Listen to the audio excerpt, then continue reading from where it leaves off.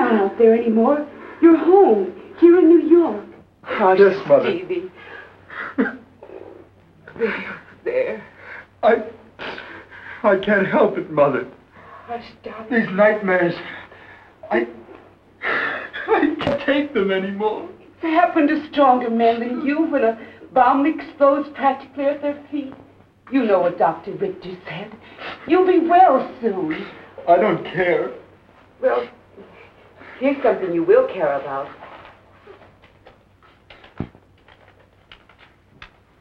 What is it? A letter from Claire? It's a cable. They telephoned it to me just now. Why doesn't she ever write me? Well, maybe because a, a letter takes four days and a cable only four hours. She doesn't want her regards to go cold en route. Shall I read it to you? If you want to. Dear Steve, getting along famously. Looks as if I'll pass the exams. Keep fingers crossed that you will marry a Bachelor of Art in the spring. Love and kisses, Claire. The spring? But why not now?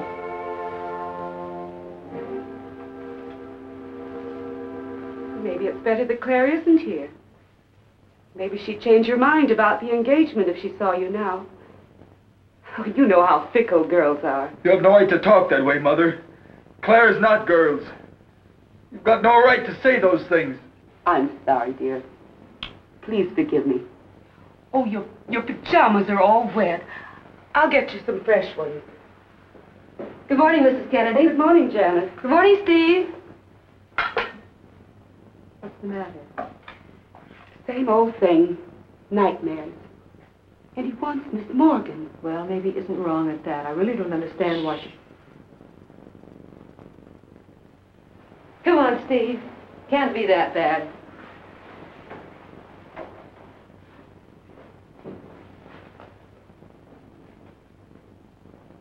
Janet. Hmm?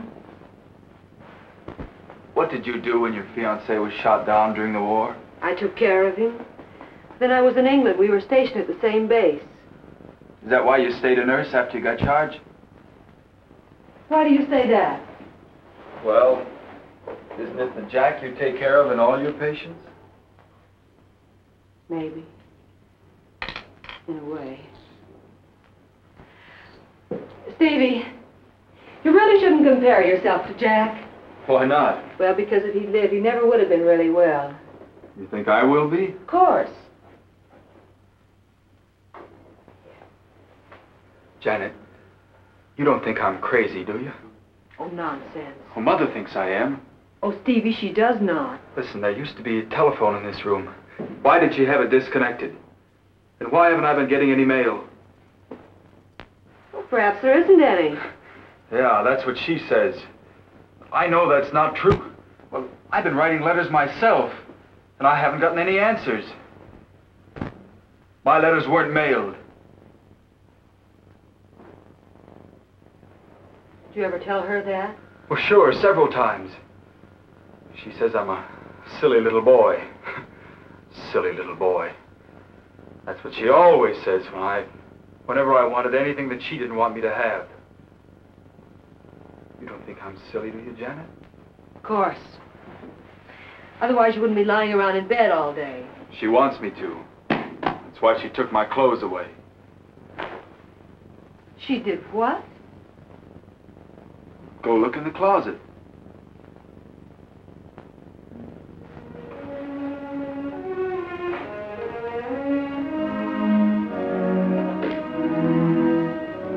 She said she sent them to the cleaners.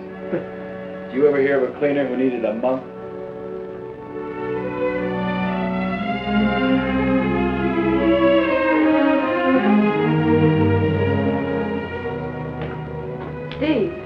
You always said no when I suggested going for a ride? One of the reasons, I suppose. I had enough being treated like a child. It's worse having to admit it. What's the other reason? Well, I, I just don't care anymore. I would if, if Claire were only here.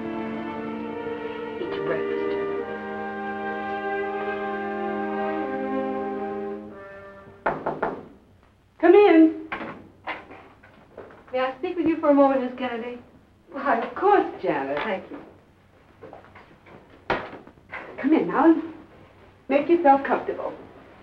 Well, what was it you wanted to speak to me about? Miss Kennedy, I, I'd like to ask you a question which might sound, well, a bit personal for an employee. Why, of course, dear. After all, you've been with us for nearly a month, and you're practically one of the family. What kind of girl is Claire Morgan? Beautiful, lovely, excellent family. Just the right wife for my son. Well, I knew of Steve's engagement, of course, but until today I didn't know how much she meant to him. I, I hadn't seen him cry for her. If Dr. Richter agrees, I'm going to have Miss Morgan come to New York right away. And just why, may I ask? Well, she's the one to look after Steve. The only one who can really help him now. Oh, that's impossible. Why impossible? But is no nurse. Well, every woman has to be with if, if, the, if the occasion arises. It's part of being a woman. You don't know Claire Morgan. After all, there are other men who would be happy to marry her. She remembers Steve at his best, when he was charming, handsome, gay. We can't take the chance of letting her see him now. It might jeopardize their engagement. And we can't take that chance. If what you say is true about Miss Morgan, and I hope it isn't, she's the wrong wife for Steve or for any other man. You're insulting my future daughter-in-law.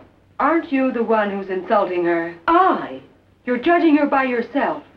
Not every woman is as self-righteous and domineering as you. Miss Dean. I'm sorry, Mrs. Kennedy. All I want is for Steve to get well. That's what I want. I'm doing everything I can. There's such a thing as doing too much. What do you mean by that? Your rush trip to California when Steve came back from Korea. The doctors wanted him to stay in the hospital. But you mobilized the whole of Washington to get him discharged and back here in your care. I did what I thought was best for my son. Please let Miss Morgan come here. No. Very well. Nurses are scarce. There are many patients who need me much more than the boy of a mother who prefers her own power to his welfare. I'll ask Dr. Richter for permission to leave. Right away? No. I'll stay till the end of the week. For Steve's sake. That will give you time enough to find another nurse.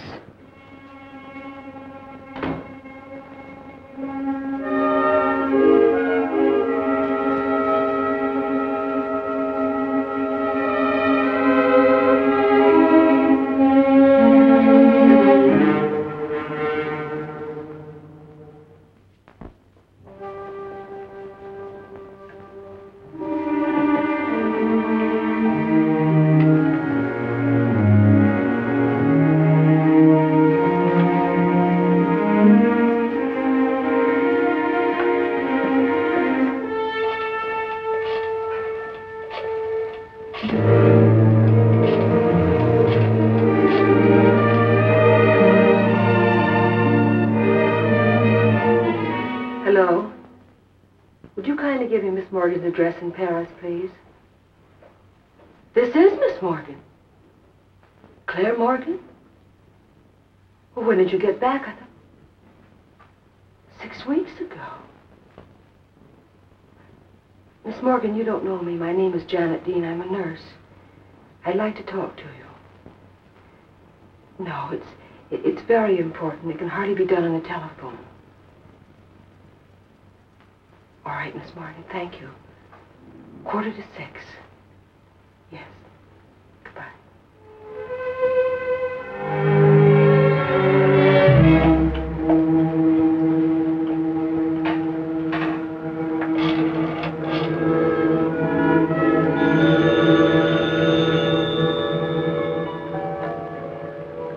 Excuse me for a moment, please. Dr. Richter speaking. Oh, hello, Janet. She, she's in town? Why, of course. Go see her. But keep your eyes open. Well, you'll have to improvise. A nurse sometimes has to be like a good actress who goes along without a part. Oh, I know I can depend on you, Janet. So long. Now, Mrs. Osborne, as I was saying...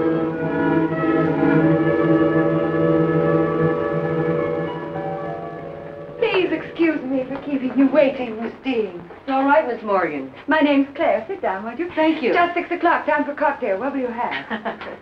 Did I say anything funny? Do you think that everybody starts to drink at six o'clock? People I know do. Martini? Yes, fine. Unfortunately, I don't have too much time. I have a cocktail party. I came to talk to you about Steve Kennedy. Steve? You from Korea? This morning? From Korea? Well, that's where he is, isn't it? Of, of course. Do you have the cable? No, his mother phoned it to me. Heaven knows why lately. He, he always cables her instead of me. Why he never writes. Anyway, he's fine, and, and he'll be back in the spring. Oh, here I am, jabbering about him instead of listening to you. I dare say you saw him only a few days ago. Thank you. Yes. Only a few days ago. To Steve. To Steve?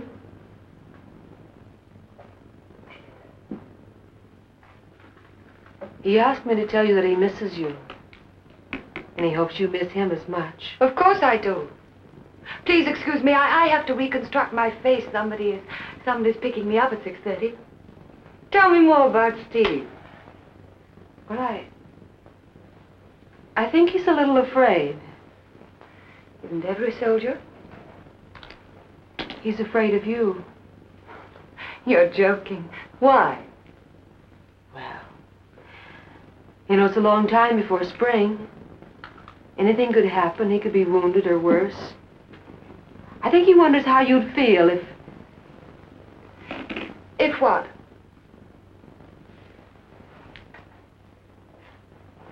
Sometimes I go to the Veterans Hospital over in Brooklyn. Why don't you come with me? To a hospital? Why should I? Well, there's nothing the fellows like to see more than a pretty girl.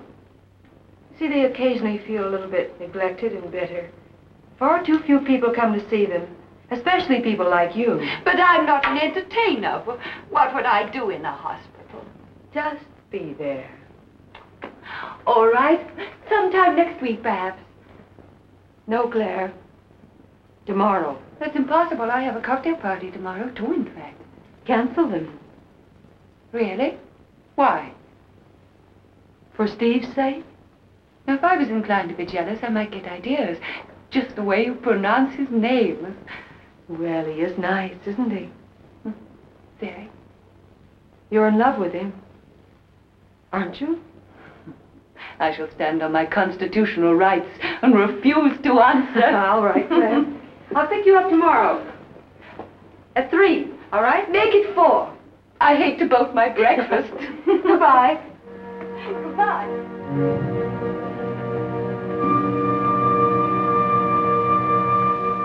Lovely, beautiful, excellent family. Mrs. Kennedy was right about Claire Morgan. And beyond that, I don't know, Doctor. I have an idea there's something beneath the glamorous surface. How deep it goes, I'll know tomorrow. I hope. you know, it was an excellent idea to invite her to the hospital. It'd be like watching a soldier during live ammunition drill. Find out more about him than you would after a year's observation. You know, Janet, this is the critical time for Steve. In the hospital, now they'd be giving him shock treatment. His mother's against it. And as he's in her custody, unfortunately, she has a right to refuse it. That's out of my hands. Doctor, if Steve met his fiancée unexpectedly, wouldn't that be shock therapy of a sort? Mm, A psychological shock. Yes, but there's such a thing as too big a shock. If you employ insulin, you know just exactly how much to give the patient. But psychology, that can't be measured. And I'd hate to think what could happen if she walked out on Steve after the meeting. Well, can't leave him in his mother's care much longer. She'd drive a normal person insane. Unfortunately, that's true, but there's nothing we can do about her. Just have to wait and see. You see, Janet, whatever we do, we take a risk. Will you call me from the hospital? Hmm. Well, keep your fingers crossed.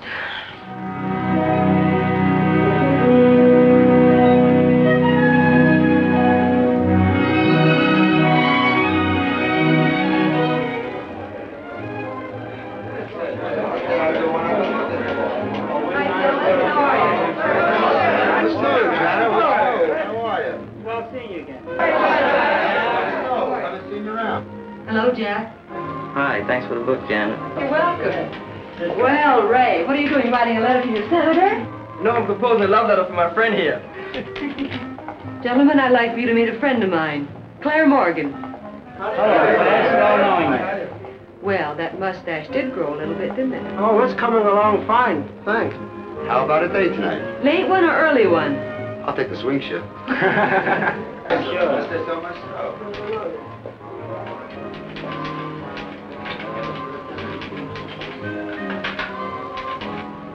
What's that going to be, Marty? Well, it could be a sweater for you if you let me try it on you first. Why, Marty? Like it? It's fine. That just goes to show you don't know much about it.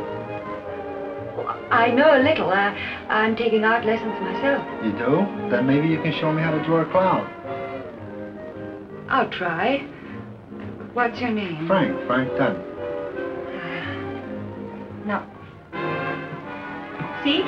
Now, now you go on, Frank. No, not that way. You're, you're pressing too hard. Is that better? Now, it's still too hard. Now, hold the crayon looser. Sideways, see? Leave my hand, that'll show me.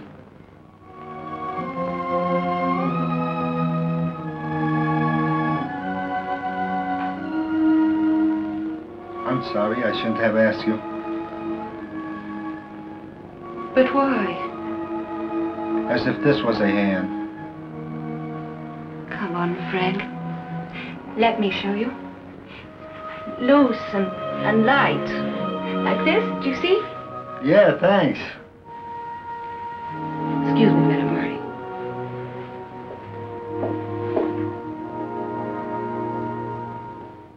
Uh, Dr. Richter speaking. Oh, hello, Janet. What's the verdict? I believe we can risk it. You uh, think you could get him out of the house? Perhaps. Maybe I could get him out in the car. If Mrs. Kennedy is away from the house. Listen, what shall I do about his clothes? Oh, I don't think his mother destroyed them. They must be around somewhere. Uh, I tell you what. You make a date with Claire Morgan someplace, some quiet place, uh, where there are not too many people.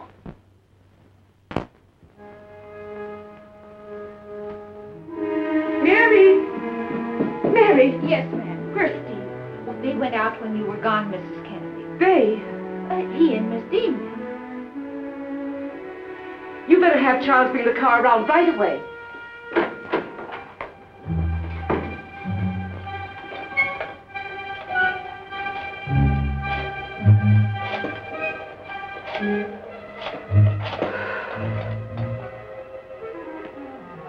Hello, Estelle. Uh, this is Mrs. Kennedy. May I speak to Miss Morgan, please? She did. Where did she go? Do you know? Oh, it's very important, Estelle. Will, will you please look in her engagement book? Leighton. She had an appointment with Miss Dean. Thank you.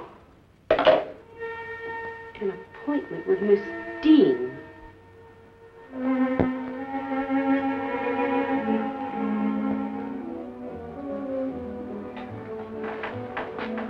I'm waiting for someone, thank you.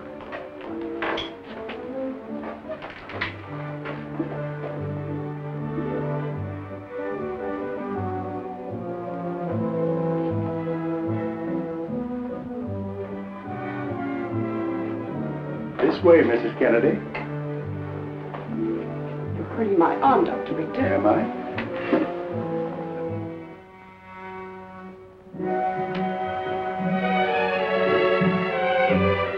Go ahead and get a table. I'll park the car.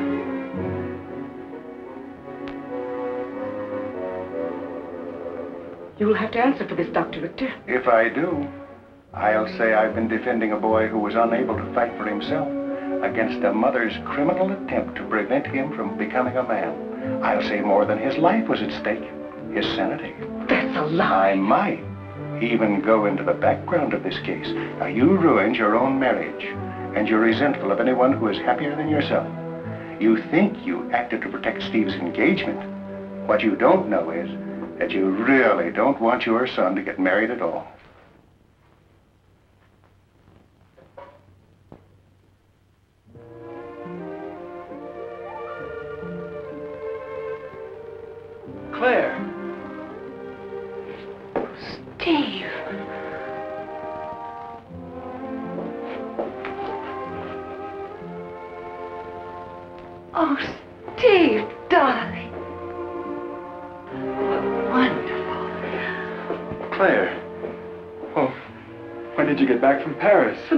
Oh, oh, I've been back over a month.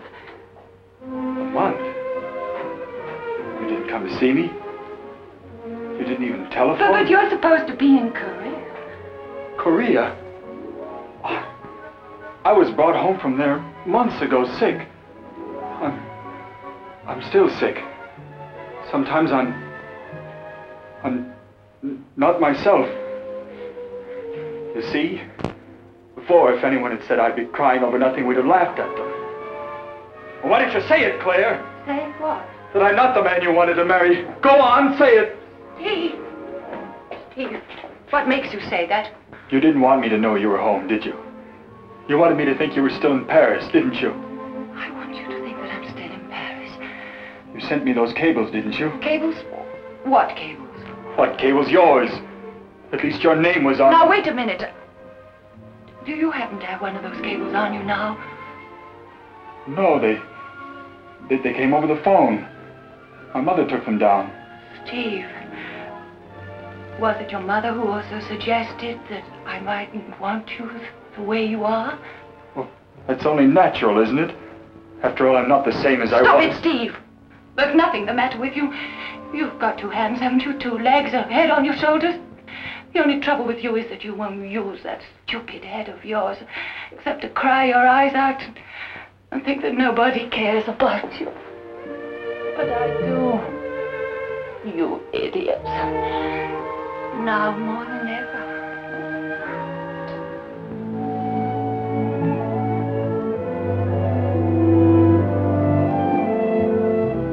That's the only thing that matters.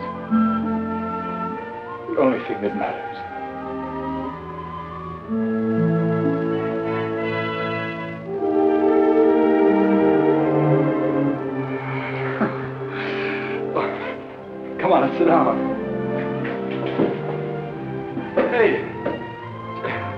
Have some service around here, waiter. Bring a martini for my girl and, and, and a scotch and soda for me. End of case, Doctor? Almost, Janet. Almost.